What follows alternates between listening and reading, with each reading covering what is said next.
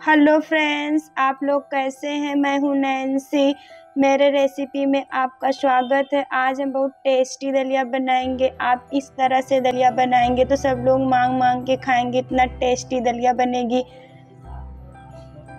इस तरह से दलिया बना के आप ट्राई करें और मेरी रेसिपी अच्छी लगे तो वीडियो के नीचे लाइक का बटन क्लिक करें। चैनल को सब्सक्राइब करना ना भूलें। आप इस तरह से दलिया बनाएँगे। बच्चे भी बहुत प्यार से खाते हैं, इस तरह का दलिया आप बना के ट्राई करें, बनाना स्टार्ट करते हैं। बनाने के लिए हम गेहूँ का दलिया एक कप ले लिए हैं।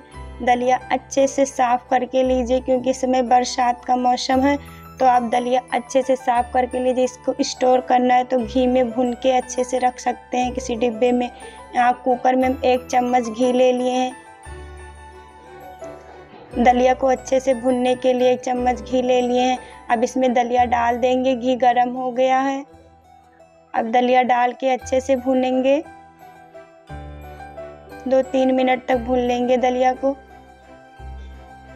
इस तरह से आप घी में बनाएँगे, दलिया बहुत टेस्टी लगता है। भून के कंप्लीट हो गया है। दलिया का कलर चेंज हो गया भून के। लाइट ब्राउन हो गया, अब इसमें पानी ले लेंगे। जिस कप से हम दलिया डालें उसी कप से पानी डाल देंगे। एक कप और थोड़ा सा और डाल देंगे, बहुत ज़्यादा पानी नहीं डालेंगे। एक बार चला लेंगे, अब कुकर बंद करके मीडियम फ्लेम पे रख देंगे, एक सीटी लगा देंगे इसमें। अब यहाँ जब तक ये हो रहा, तब तक हम सब्ज़ी काट लेंगे। आपको जो सब्ज़ी पसंद है, ले लें। यहाँ हम टमाटर, हरी मिर्च प्याज, बीन्स और कुछ हरी सब्ज़ी लिए हैं। तब तक ये हो गया है। दलिया एक सीटी लग गई। अब चेक कर लेंगे।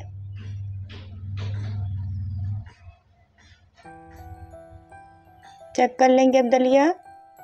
चला के अच्छे से एक बार देखेंगे। चेक करेंगे दलिया पक गई है। दलिया बिल्कुल अच्छे से पक गई, इसमें गर्म पानी डाल देंगे। दलिया बहुत ज़्यादा ना सूखा बनाएँगे, ना बहुत ज़्यादा गीला बनाएँगे। अब इसमें पानी डाल देंगे।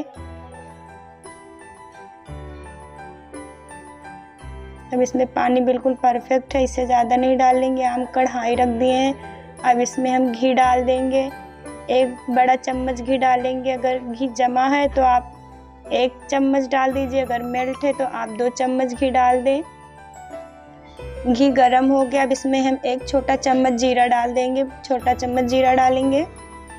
जीरा थोड़ा अच्छा से चला लेंगे हम।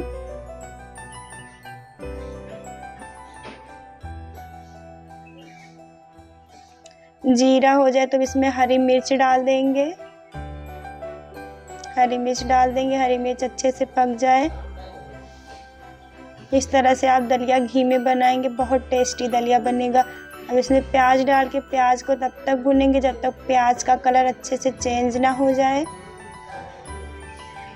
अब इसमें बीन्स डाल देंगे। बीन्स डाल के भी अच्छे से भून लेंगे।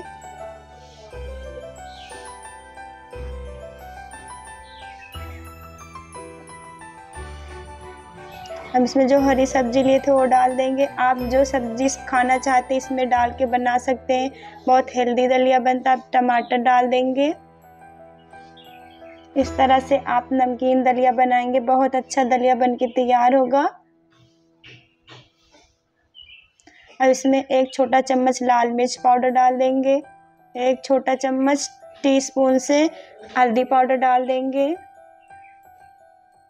अच्छे से मिक्स करेंगे एक बार। अब दो से तीन मिनट के लिए ढक देंगे पकने के लिए।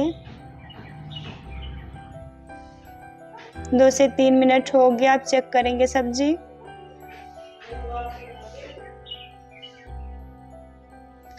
थोड़ा सा चला के इसमें नमक डाल देंगे। अभी दलिया में भी नमक नहीं है, स्वाद अनुसार नमक डाल देंगे। ना दलिया में नमक पड़ा, ना सब्ज़ी में पड़ा है तो स्वाद अनुसार नमक डालेंगे कि दोनों का मैनेजमेंट अच्छे से आ जाए। अब अच्छे से मिक्स कर लेंगे। मिक्स करके अब एक बार ढक देंगे अच्छे से। एक मिनट के लिए, दो मिनट के लिए ढक देंगे फिर से चेक करेंगे। सब्ज़ी सारी पक गई है, सब्ज़ी अच्छे से पका लेंगे, बस इसमें अब दलिया डाल देंगे।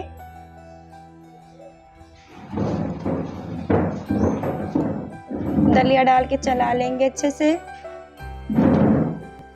दलिया को अच्छे से चलाएँगे। चला लेंगे, एक बार ढक देंगे जिससे सब कुछ अच्छे से मिक्स हो जाए। गैस का फ्लेम बिल्कुल मीडियम रखेंगे। एक से दो मिनट के लिए ढक देंगे अच्छे से। एक से दो मिनट हो गया, आप दलिया चेक करेंगे। दलिया बिल्कुल अच्छे से बन गया कंप्लीट हो गया। खाने के लिए मेरी रेसिपी आपको थोड़ा भी अच्छा लगा तो प्लीज़ वीडियो को लाइक कर दीजिए चैनल को सब्सक्राइब कर लीजिए। इस तरह से आप दलिया बनाएँगे, सब लोग बहुत पसंद से